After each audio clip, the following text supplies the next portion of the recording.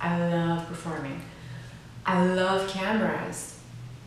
I love stage.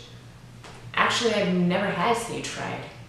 And I love the audience. The more people, the better. For many years, every time I watched a movie, I'd imagine myself playing a character. And on the next day, I'd go to school and act like that character. I couldn't decide what path my career was going to take. I had so many passions, I had so many options, and every day I was thinking of being somebody else or something else. I think I decided to pursue acting as a career after winning some awards for acting.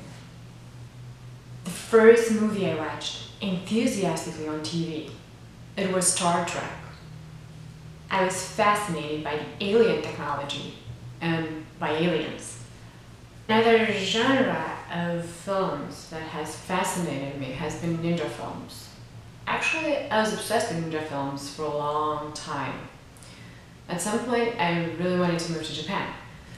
However, I started taking ninja classes in Japanese language, so I was really happy for a while with that.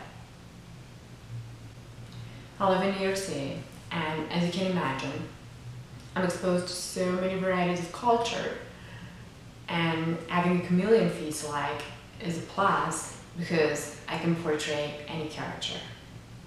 When it comes to modeling, I think my strength was competing in beauty pageants because I won eight awards. It's something important for a girl, uh, but I still believe the inner beauty is the most important for a person.